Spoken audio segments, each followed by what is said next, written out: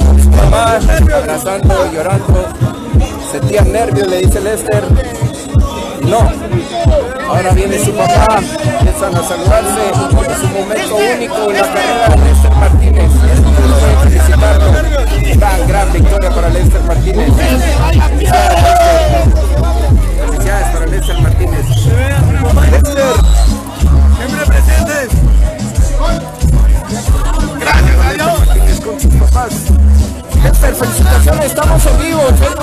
saludos a todos los perrones que están viendo, mil gracias por apoyar el deporte. Hola, siempre gracias por estar ahí, carnal. Gracias. No, pues yo creo que ya les los nervios porque antes de la pelea. Los nervios y muy felices. Gracias a todos.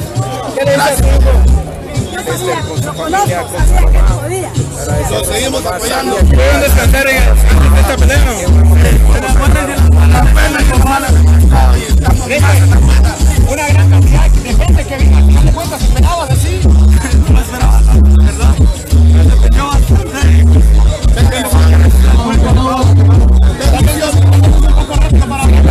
Para Lester Martínez.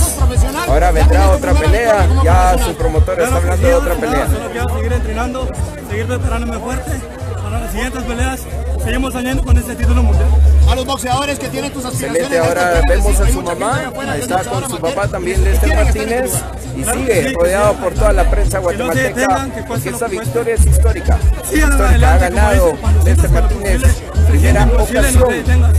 Así que qué buena victoria, viva Petén, tanta gente que Esperaba que mandando en más de dos minutos eh, terminar esta pelea ante Mayorga que Vamos ha hecho que en, en un round te iba a noquear. No, No, la verdad estamos un poquito un poco lejos, más de pelea, una reja, quiero- no podemos En 10 pasar. minutos, la siguiente pelea que es por el título. Bendiciones a La todos siguiente por pelea apoyar. que es por el título. Les anuncio la ¿Qué le pelea. decís a Guatemala?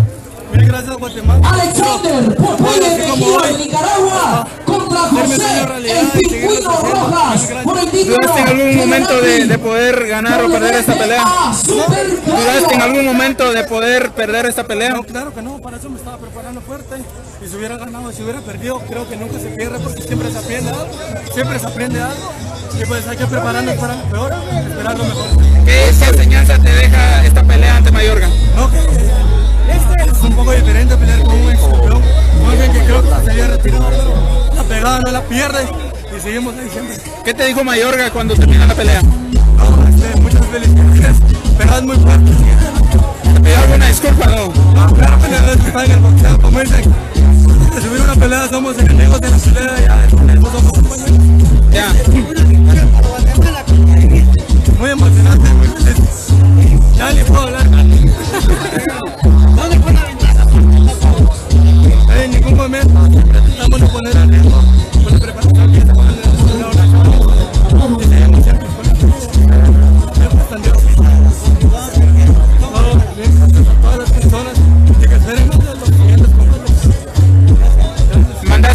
¿Mandaste en ambulancia a Mayorga entonces? No. No, la vamos a perdonar.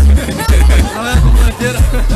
Ya, contanos un poco de tu traje, que, ¿quién, te, ¿quién te ayudó a confeccionarlo y cómo, y cómo lo escogiste? Los compañeros hablaron con un compañero, un compañero Joselito Virre, que él lo que no esperaba que me lo fuera a hacer así, bastante genial, típico acá de Guatemala.